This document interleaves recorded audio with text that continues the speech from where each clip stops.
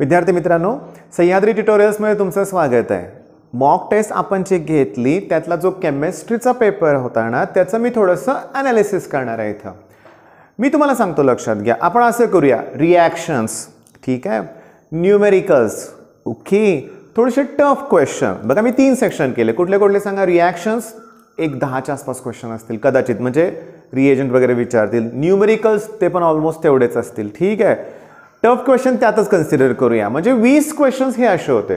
Numerical सोपे होते. पण मी तुम्हाला सांगतो काय ते बघा की मी सुरुवातीला एक पंचवीस ते तीस क्वेश्चन्स मी असे घेतोय की ज्याचे ॲन्सर्स पटकन वाचल्या वाचल्या आपल्याला समजतील असे होते. बघा फळावर मी क्वेश्चन्स लिहून ठेवले आहेत हळूहळू आपण डिस्कस करूया ते. बघा आणि माझं म्हणणं काय तुम्हाला? की एक्झाममध्ये टाईम मॅनेजमेंट इम्पॉर्टंट आहे ना? सगळेजण केमिस्ट्रीचा अगोदर घेत आहेत ना? मग पट पट पट पट असले क्वेश्चन सोडका न्यूमेरिकल्स आता रिॲक्शनमध्ये सुद्धा बरेचसे प्रश्न आठवतात पटकन बरं का? मग समजा फ्लिंकेन्स्टन रिॲक्शन होती स्टीफन रिॲक्शन होती नेम रिॲक्शन्स होत्या आठवतात लगेच. पण विचार करावा लागत असेल तो क्वेश्चन स्किप करायचा. मग चला आज आपण अनालिसिस स्टार्ट करूया. पहिला क्वेश्चन लिहिला काय बघा? मी wall molecules which contain ionic molecule which contain ionic as well as covalent bond इथं मी नंबर थ्री टाकला आहे तुमच्या पेपरमध्ये पण तिसराच क्वेश्चन आहे. आता लक्षात द्या अमोनियम क्लोराईड जो असतो ना ammonium N H four C F त्यात एन एच फोर आणि सी एलमध्ये आयोनिक बॉन्ड असतो आणि एन आणि हायड्रोजनमध्ये कोवॅलन बॉन्ड असतो. मग हे कंपाऊंड लक्षात ठेवायचं आहे आपल्याला. अमोनियम क्लोराईड इझी होतं. Technique to separate acetone and methanol. आता लक्ष द्या. हे इलेवन स्टँडर्ड्स आहे. ओके ॲसिटोन आणि मिथॅनॉल दोघेही लिक्विड आहे. दोघांच्याही बॉइलिंग पॉईंटमध्ये जास्त डिफरन्स नाही आहे लिक्विडला सेपरेट करण्यासाठी डिस्टिलेशन प्रोसेस असते. ओके या दोघांचा बॉइलिंग पॉईंटमध्ये जास्त डिफरन्स नाही आहे मग इथं फ्रॅक्शनल डिस्टिलेशन इलेवन स्टँडर्ड आठवा. मग याचा आन्सर काय? फ्रॅक्शनल डिस्टिलेशन ऑप्शन बघून पण लगेच कळतं. सेकंदाचं काम आहे फक्त. आणि आता गोल्ड रंगवायचं तर कुठे आहे? क्लिक फक्त करायचं आहे तुम्हाला. आणि ते बेस्ट आहे बरं का. चेंज पण करता येतं. नाही तर पहिला कसं होतं माहिती आहे का? ऑफलाईन जेव्हा एक्झाम असायची तेव्हा गोल्ड रंगवायचे. त्यात वेळ जायचं. गोल्ड नीट व्यवस्थित रंगवले पण जात नव्हते. बरं जाऊ दे. Catalyst use in Bosch process आता हे समजून घ्या. हायड्रोजन परत इलेवन स्टँडर्ड. मी तुम्हाला काय सांगतोय हे कॅटलिस्ट आपल्याला सगळे करायचे आहेत. मग ते एफ एन डी ब्लॉकमध्ये आहेत पी ब्लॉकमध्ये आहेत हायड्रोजनमध्ये आहेत. तुम्ही लिस्ट तयार करा ना कॅटलिस्टची सगळी. आता कॅटलिस्ट इथं कुठला असतो? F E two O three आणि C R two O three तुम्ही क्रॉस चेकसुद्धा करा कारण केमिस्ट्री माझं काय फेवरेट सब्जेक्ट नाही आहे F E two O three C R two O three okay sum of the protons and neutrons in the isotopes of hydrogen आता मी हा क्वेश्चन घेतला आहे सीईटीमध्ये ओके अरे पण हाच क्वेश्चन असाच क्वेश्चन गेल्या वर्षीच्या नीटमध्ये सुद्धा होता की अल्फा पार्टिकल्समध्ये प्रोटॉन किती असतात न्यूट्रॉन किती असतात आणि इलेक्ट्रॉन किती असतात. मी जस्ट तुम्हाला एक्झाम्पल देतो. आता हायड्रोजनचे आयसोटोप म्हणजे बघा एकतर प्रोटॉन ड्युटेरियम आणि ट्रिटियम आता ट्रिटियममध्ये थ्री आणि वन समजून घ्या. अरे हा वरचा नंबर जो असतो ना तो असतो ॲटॉमिक मास नंबर तोच प्रोटॉन आणि न्यूट्रॉनची ॲडिशन असते ना. त्यांनी कुणाची ॲडिशन विचारले समोर प्रोटॉन आणि न्यूट्रॉन. म्हणजे ॲटॉमिक मास नंबर. मग ॲटॉमिक मास नंबर किती आहे सांगा या केसमध्ये? थ्री. ठीक आहे? सहावा क्वेश्चन त्याच्यानंतर सातवा क्वेश्चन काय? रॉकेट फ्युअल म्हणून कशाचा यूज होतो? लिक्विड हायड्रोजनचा यूज होतो. हे सिंपल जरी क्वेश्चन्स असले तरी स्टडी परफेक्ट अगोदर असेल तर आठवतात बरं का. नसलं तरी तुम्ही इथून पुढे असले क्वेश्चन्स हुडकायला सुरुवात करा स्वतः. हे लक्षात घ्या. कारण तुम्ही अगोदरचे क्वेश्चन्स रिपीट होतील असं काही नकोच आहे छोटे छोटे पॉईंट्स स्वतःहूनच तुमच्या नोट्स तयार आत्तापासून सुरुवात करा तरी होऊ शकते. बरं. Suspension of slaked lime in water म्हणजेच मिल्क ऑफ लाईम ठीक आहे? Milk of lime easy question होता. म्हणजे बघा एक दोन तीन चार पाच सहा क्वेश्चन्स खूप इझी झाले. आता पुढचे questions I U P C nomenclature विचारलंय आणि बॉन्ड लाईन डायग्राम दिले आता मी काय करतोय बघा की एक दोन तीन चार पाच सहा सात आणि आठ चेनमध्ये आठ कार्बन आहेत. म्हणजे ऑक्टेन तुम्ही अकरावा क्वेश्चन चेक करा. ऑक्टेन एकाच ऑप्शनमध्ये ओके साहजिक आहे तोच बरोबर असणार आहे. आणखीन एक काय? एक दोन तीन चार. चौथ्या कार्बनला मिथिल ग्रुप आहे. मग फोर मिथिल ऑक्टेन ऑप्शन एकदम करेक्ट असणार आहे. बरं. हे सगळे क्वेश्चन अशाच प्रकारचे क्वेश्चन सीईटीत आले होते हे तुम्हाला मी परत परत परत सांगतोय. खूप इझी एक्झाम आहे सीईटी लक्षात घ्या. फक्त टाईम मॅनेजमेंट आणि स्टॅमिना टिकला पाहिजे. कारण एक कमेंट अशी होती की मी सुरुवातीला अर्धा तास केमिस्ट्री नंतर दीड तास मी मॅथ्स आणि शेवटी फिजिक्स घेतलं तर चालेल का? तर मी त्या मुलाला कळवलं काय की बिलकुल नाही चालणार नाही चालणार. तर मग पुन्हा कमेंट केली. म्हणलं सर जेईमध्ये चालतं की? मी त्याला म्हणलं जेईची JEE N C E T exam totally वेगळी आहे ना बळानो? जेई चालतं तो एकच पेपर असतो लक्षात घ्या. इथं आपल्याला काय होतं की सुरुवातीला जो पेपर दिला जाईल तो दीड तासानंतर आपोआप सबमिट होतो. आणि दीड तासांनी पुढचा पेपर मिळतो. मग तो अगोदर पेपर आपल्याला काय करता येत नाही लक्षात घ्या. त्यामुळे तुम्ही स्वतःचा स्टॅमिना असाच वाढवा फिजिक्स केमिस्ट्री सुरुवातीला घ्या दीड तास नंतर फ्रेशली तुम्हाला मॅथ्स जमलं पाहिजे उत्साहात. आता पुढचा question single substance that exist in two or more forms solid स्टेटमध्ये आहेत. आठवत आहे आयसोमॉर्फस पॉलिमॉर्फस आता टू ऑर मोर फॉर्म्स आहेत. म्हणजे काय सांगा? पॉलिमॉर्फस ओके आता due to Frenkel defect density आता समजून घ्या. हे पुन्हा सॉलिड स्टेटमधलंच आहे. ओके आता इश्यू काय असं मला वाटायला लागलं आहे बरं का? समजून घ्या की हा क्वेश्चन तेरा आणि हा क्वेश्चन चौदावा आहे. ठीक आहे? टॉपिक एकच आहे. आता मी जे सॉफ्टवेअर यूज करतो ना कदाचित असं होत असेल की एकाच टॉपिकचे क्वेश्चन्स एकत्र येत असतील. ओके मी नेक्स्ट टाईम ते शफल करण्याचा प्रयत्न करेन. पण आता ह्याचं उत्तर सांगतो. सॉलिड स्टेटमध्येच आहे. ओके डिफेक्टमध्ये हा जो डिफेक्ट आहे ना फ्रँकेल डिफेक्ट ह्याच्यामुळे डेन्सिटी चेंज होत नाही. तुम्ही तो पेज पूर्ण वाचा. आणि त्याचे एक्झाम्पल्स पण बघा लक्षात घ्या कारण सी टीत तसले पण प्रश्न येऊ शकतात. म्हणजे डिस डेन्सिटी काही चेंज होत नाही. आता लार्जेस्ट युनिट इथं जे लिहिलं आहे ना हे थर्मोमध्ये आहे. आपण थर्मोडायनॅमिक्सचे ना खूप व्हिडिओ तयार केलेत. न्यूमेरिकल्स बोर्डच्या वेळेस पण केलेत. सीईटीच्या वेळेस पण केलेत लक्षात घ्या. तुम्ही ते व्हिडिओ बघा. मी त्यात हे बऱ्याच वेळा एक्सप्लेन केलं की लिटर ॲटमॉस्फिरिक हे सगळ्यात मोठं युनिट आहे. त्याच्या खालोखाल कॅलरीज त्याच्या खालोखाल जूल अर्ग आणि सगळ्यात लहान कोण आहे? इलेक्ट्रॉन वोल्ट हे आपण ॲटम मॉलिक्युल्स न्यूक्लियामध्ये आहे समजून घ्या नाईन्थ स्टँडर्डच्या पुस्तकात काय लिहिलंय माहिती आहे का? की जूल हे एस आय युनिट आहे आणि कॅलरी हे सी जी एस युनिट आहे. मोठी मिस्टेक आहे ती लक्षात घ्या. अर्ग हे सी जी एस युनिट आहे ना? मग पुस्त आता तुमचा जो विसावा क्वेश्चन आहे त्यात लिटर ॲटमॉस्फिरिक दिलंच नाही ही चार नावं असतील कदाचित. मग त्यातलं लार्जेस्ट कोण आहे? कॅलरी सिंपल सॉल्ट ब्रिजमध्ये ना K N O three use करतात. तुम्हाला सॉल्ट ब्रिज माहीत आहे. ओके इलेक्ट्रोकेमिस्ट्री दोन सेलला कनेक्ट करण्यासाठी सॉल्ट ब्रिज वापरला जातो. समजून घ्या ह्याच्यात जे के प्लस आहे आणि एनओ थ्री मायनस आयन आहेत ना यांची विलॉसिटी सेम असते. सोल्युशनमध्ये पास होण्याची विलॉसिटी कशी असते? सेम असते आणि म्हणूनच याचा यूज तिथं केला जातो. आता त्याच्यानंतर आहे रेफरन्स इलेक्ट्रोड कॅलोमेल इलेक्ट्रोड आणि स्टँडर्ड हायड्रोजन इलेक्ट्रोड आता माझा ऐका. पुस्तकात ना तुम्हाला युनिमोलर ओके त्याच्यानंतर डेसिमोलर मोलर असे लक्षात घ्या. मोलॅरिटी दिले आणि पोल पोटॅन्शियल डिफरन्स दिलाय. पण तो पॉझिटिव्ह आहे कारण ते रिडक्शन पोटॅन्शियल आहे. रिडक्शन पोटॅन्शियल पॉझिटिव्ह आहे आणि ऑक्सिडेशन पोटॅन्शियल निगेटिव्ह आहे. व्हॅल्यू त्याच आहेत. फक्त पुस्तकात प्लस असणार आहे. ऑक्सिडेशन विचारलं मात्र काय घ्या? मायनस बघता बघता दहा पंधरा क्वेश्चन झाले. दहा तरी झाले लक्षात घ्या. आता नेक्स्ट बघा. वॅन आर्केल मेथड तुम्हाला माहिती आहे zirconium titanium Mond process nickel पण ह्या दोन्ही प्रोसेस ना रिफायनिंग प्रोसेस आहेत. ओके मग त्या रिफायनिंगमध्ये झोन रिफायनिंग आहे. ओके पोलिंग प्रोसेस आहे. आता सी डीतलं मला एक आठवतं की पोलिंग प्रोसेससाठी म्हणजे कोणत्या मेटलला प्युरिफाय करण्यासाठी रिफाईन करण्यासाठी? तर कॉपर अल्ट्रा प्युअर मेटल पाहिजे असेल तर ते zone refining purity of five nine ninety nine point nine nine nine तुम्ही काय करायचं विद्यार्थी मित्रांनो की आता मी अनालिसिस तुम्हाला देतोय. तुम्ही या टाईपचे त्या पेजवर जेवढे तुम्हाला पॉईंट्स अजून मिळतील तुमच्या नोट्स तयार करा. नोट्स तयार करा. तुमच्या दोनशे पेजेसच्या पाच सहा पाच सहा वया भरल्या पाहिजेत केमिस्ट्रीच्या एवढ्या नोट्स तयार करा म्हणजे लास्ट वीकमध्ये तुम्हाला रिव्हिजनला ते अतिशय उपयोगी पडेल. नाहीतर भरामसट मोठी पुस्तकं असतात आपल्याकडं मोठे मोठे पब्लिकेशनचे बुक्स आहेत. रिव्हिजनला काही उपयोगी पडणार नाही ते तुम्हाला. स्वतःच्या नोट्स असतील ना तर ते नक्कीच उपयोगी पडतील. ओके आता वॅन आर्केल मेथड तसं एम सी क्यूमध्ये काय होतं लक्षात घ्या की त्यात तयार काय होतं तर वोलटाईल अनस्टेबल कंपाऊंड तयार होतो.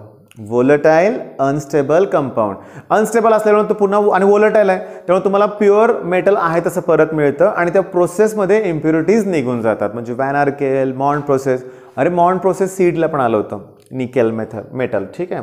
आता फ्रोथ फ्लोटेशन जेईचा क्वेश्चन आहे. फ्रोथ फ्लोटेशन प्रोसेस आहे ना मेनली सल्फाईड ओअरसाठी असते. मग त्यात झिंक ब्लेंड येईल. पण ऑप्शन आपल्या इथं गॅलेना होता. क्वेश्चन किती आहे? ट्वेंटी सेवन आणि समजून घेण्याचा प्रयत्न करा. कॅरोज ॲसिड पुन्हा oil of vitriol Marshall's acid ही सगळी नावं कोणाची आहेत? ऑक्झो ॲसिड ऑफ सल्फरचे आहेत. कुणाचे आहेत सांगा? ऑक्झो ॲसिड ऑफ सल्फर मग ऑक्झो ॲसिड ऑफ सल्फर आहे. ऑक्झो ॲसिड ऑफ फॉस्फरस आहे. त्याचे स्ट्रक्चर तुम्हाला आले पाहिजे. स्ट्रक्चर आल्याशिवाय तुम्हाला ना त्याचं हे जमणार नाही ऑक्सिडेशन नंबर फाइंड आउट करायचा. आणि मला तर असं वाटायला लागलं आहे आपण बारा पंधरा अठराशेचे काय आपण मॉक टेस्ट घेणार ना अगदी सी ई पर्यंत कंटिन्यू करणार आहे ना आपण मला गॅरंटी आहे की ह्यातलेच क्वेश्चन सी ई टीत येणार लक्षात घ्या. या टाईपचेच येणार आहेत आणि माझा विश्वास आहे लक्षात घ्या. आणि मला थोडा कॉन्फिडन्स पण आहे की असेच क्वेश्चन सी ई टीत येतील. ओके आता बघा सी ओ बरं कॅरोज ॲसिडचा फॉर्म्युला काय? H two S O five okay मी बघून लिहिलं आहे मला सुद्धा हे पार्ट नव्हतं लक्षात घ्या. त्याच्यामध्ये करावं लागणार आहे. हे जे ऑक्झो ॲसिड असतात ना ह्याची रिव्हिजन करावी लागते बरं का. की कारण सारखं परत कुठल्या रिॲक्शनमध्येच आपण यूज करत नाही. आणि त्याच्यामुळं ते विसरलं जातं. रिव्हिजन करा.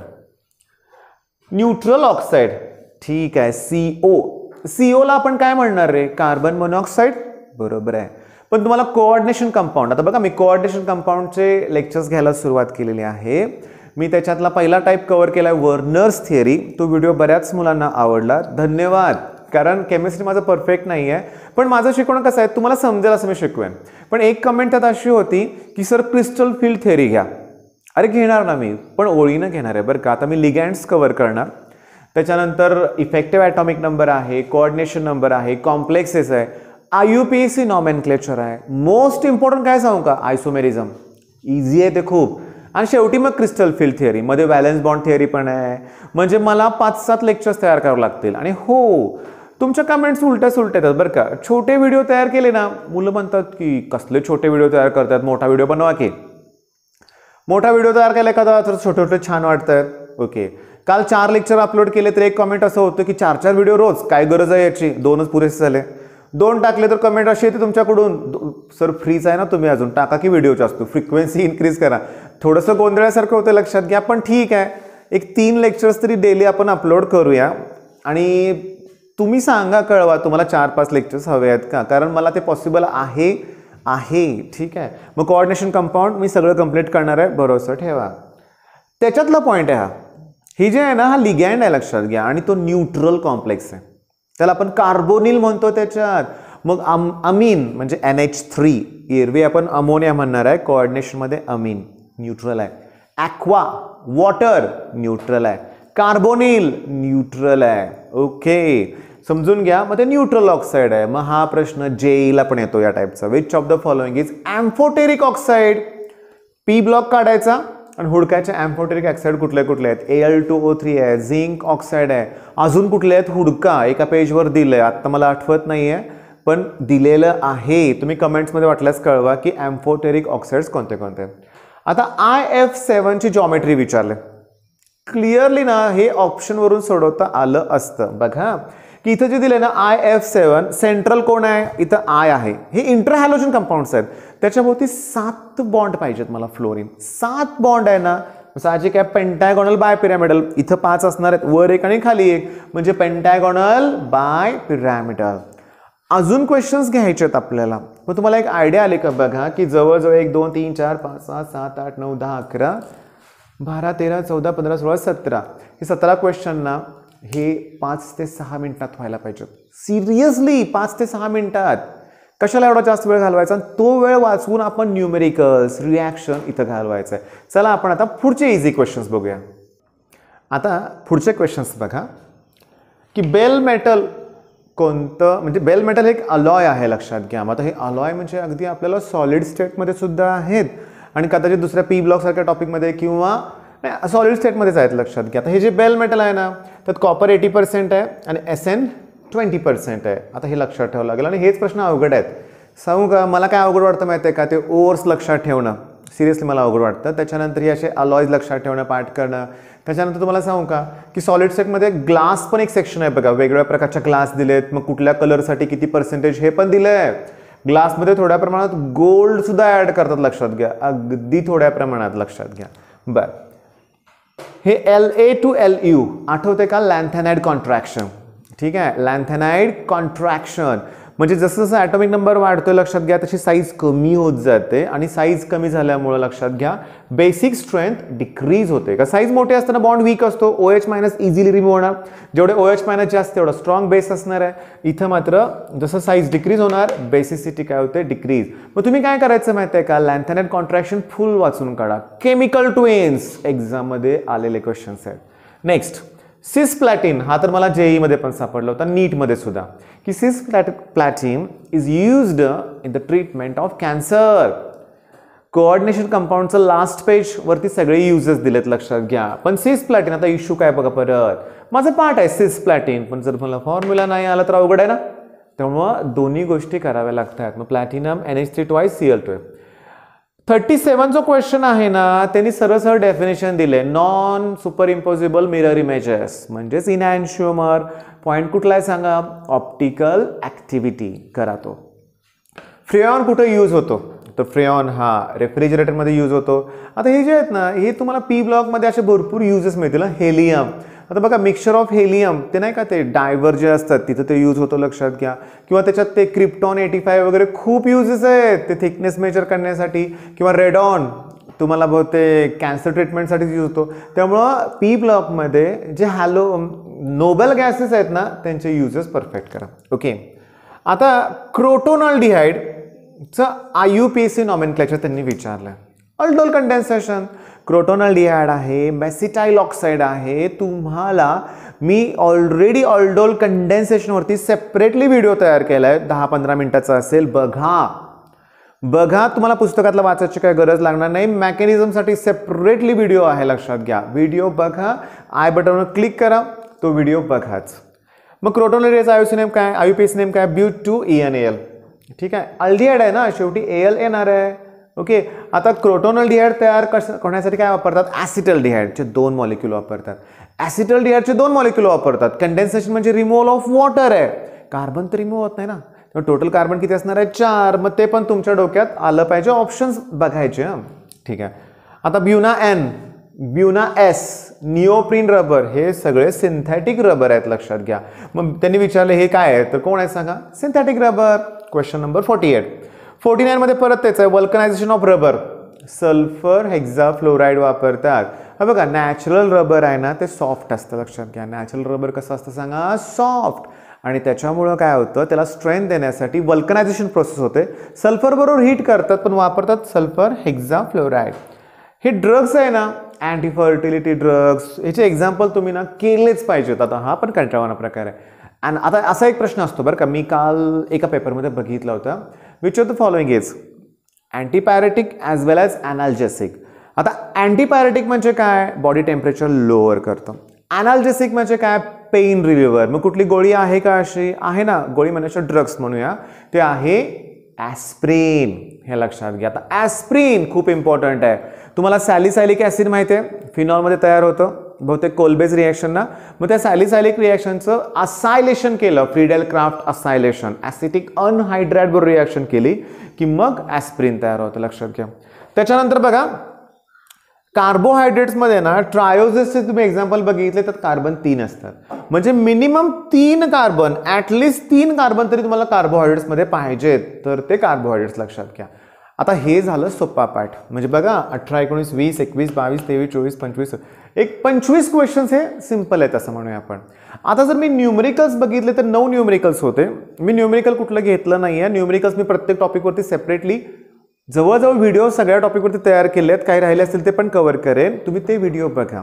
मग कुठले क्वेश्चन्स आलेत माहिती आहे का? ही कन्सेप्ट की one mole at S T P असेल तर त्याचा व्हॉल्यूम असतो twenty two point four litre okay मग जर हाफ मोल असेल तर इलेवन पॉईंट टू म्हणजे इलेवन पॉईंट टू लिटरचं volume at S T P दिला असेल तर हाफ मोल आता समजा अमोनियाचं अमोनियाचं मोलार मास सतरा आहे. याचा अर्थ एक मोलसाठी सतरा ग्रॅम मग हाफ मोलसाठी एट पॉईंट फाईव्ह इझी त्याच्यानंतर सांगतो नंबर ऑफ ॲटम्स काढण्यासाठी नंबर ऑफ मोल्सला ॲव्हॅगॅड्रोज नंबरनं मल्टिप्लाय करा. ॲक्च्युली नंबर ऑफ मॉलिक्युल्सला ॲव्हॅगॅड्रोज नंबरनं आपण मल्टिप्लाय करतो. लक्षात घ्या समजून घ्या. सॉरी नंबर ऑफ मोल्स का मॉलिक्युल्स काढतो आपण. पण इथं एफ ईचं एक्झाम्पल दिलं आहे तेव्हा मी तेवढंच डायरेक्टली ॲटम्स घेतलं आहे मॉलिक्युलमध्ये कसं असतं माहिती आहे का? समजून घ्या. आता अमोनियाचं असेल. तर अमोनियाचे नंबर ऑफ ॲटम्स काढायचे असतील ना तर इथं नंबर ऑफ मोल्स नाही नंबर ऑफ मॉलिक्युल्स त्याला ॲव्हॅगॅड्रोज नंबर आणि इंटू परत फोर करावं लागतं. कारण अमोनियामध्ये टोटल चार आयटम आहेत एन एच थ्री इथं एफ ई होतं त्यामुळे मी डायरेक्टली असं लिहिलं. आता मोलॅरिटीवरती एक न्यूमेरिकल आहे फ्रीझिंग पॉईंटवरती आहे degree of dissociation first law of thermodynamics mathematical equation तुम्हाला सांगू का? Two thousand sixteen seventeen eighteen nineteen कुठलाही पेपर काढा.